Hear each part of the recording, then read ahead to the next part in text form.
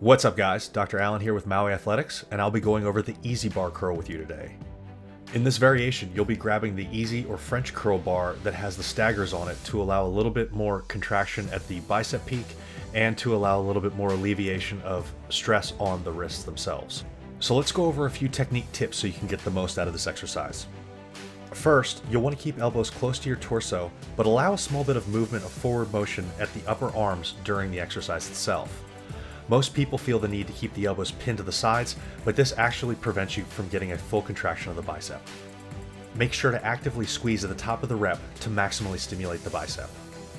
And lastly, control the descent.